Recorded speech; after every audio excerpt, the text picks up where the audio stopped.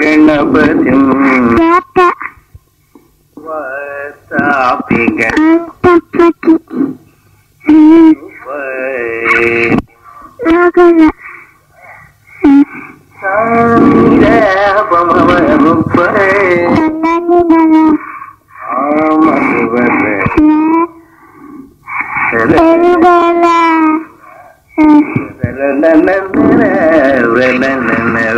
Thank you. கண்ணு. நீ ஒண்ணு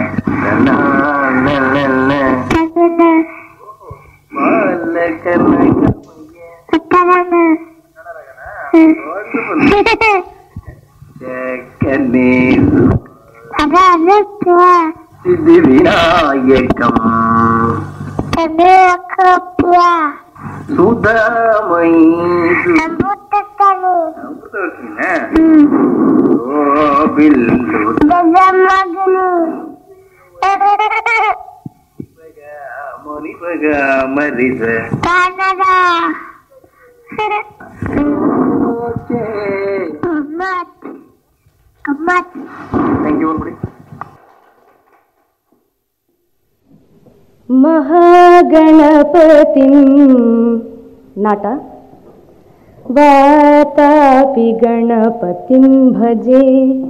हम सध्वनि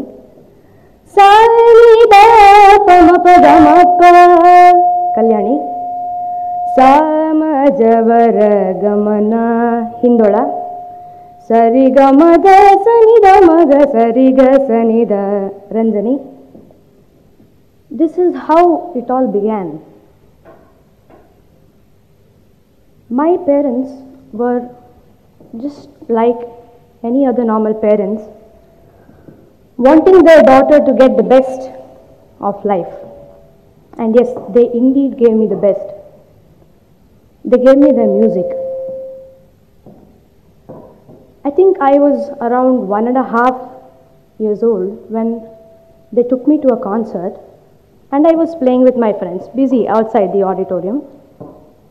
And my father hears me shamelessly screaming out the name of a raga.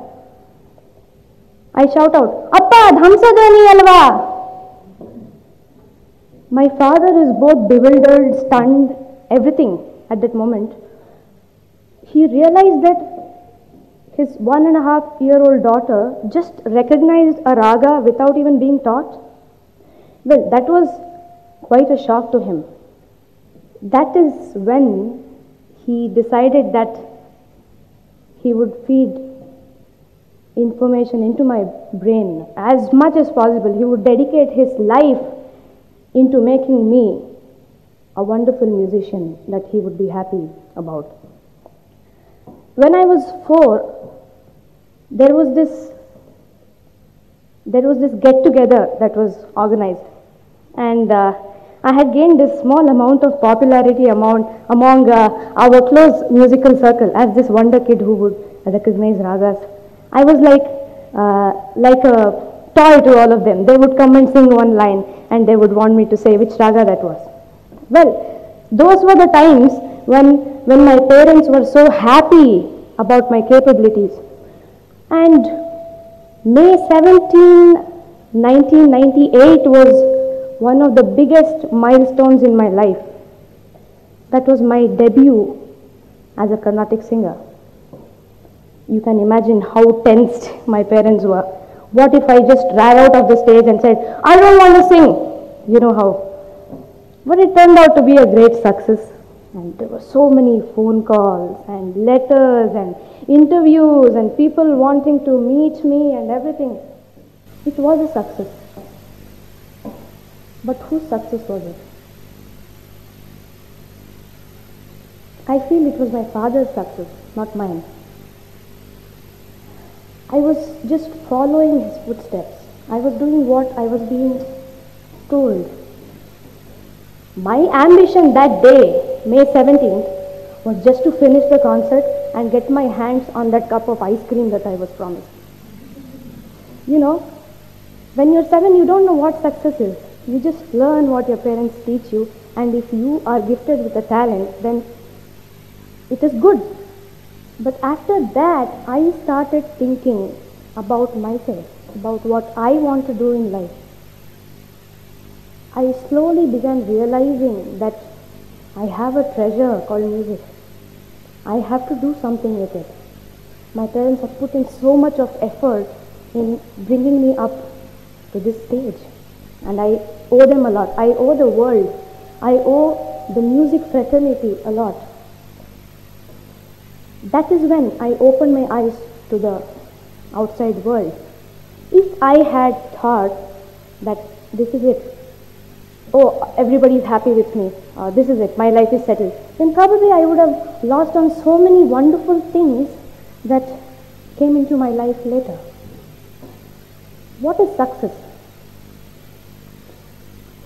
I think success can be materialistic and artistic. Materialistic in the sense you want to buy a car or you want to buy a house. Well, earn some money, save it all up, buy a car, buy a house. Yes, you are successful. But if you have to be artistically successful, it requires something else. Let me give you a small example. Mr. X wants to buy a grand piano. Works hard, earns money, and buys a grand piano. Yes, he is successful. Materialistically, he is successful. But what should he do to be artistically successful? He has to learn how to play the piano. For that, he has to put in so much of effort. And yes, now Mr. X considerably plays piano well. And he thinks, well, I am successful artistically as well. But no, he is not because he comes across this other person who plays better than him. He realizes, oh, I thought I was successful, but I don't think I still am. He puts in more effort and he's better this time. Again to realize that there is somebody else who is again better than him. So this, my friends, I think it, it's like a cycle. It keeps going on and on and on. The more number of times that you face success, the farther it gets. Every second success makes the first success look very trivial, very obsolete. Sometimes I feel that we do not know if we are happy with what we are doing. Is success linked with happiness? Are we doing what we want to do or what another person wants us to do? We have to figure out our goals. Goals are as important as success itself. If we have the wrong kinds of goals, or probably say unrealistic goals, I think we are not ending up to be happy at all. Let me give you an example. Sri Ramakrishna Paramahamsa used to say, there was this person who came up to him who had, he said, that he had attained a kind of siddhi. He said, Sri Paramahamsa, I did this sadhana for 25 long years and now the end result is that I can walk on water. So, what do you think this is worth? So, Ramakrishna Paramahamsa said, I think this is worth just 25 paise. The man was really upset. I put in 25 years of hard work into this and you're saying that it is just worth 25 paise?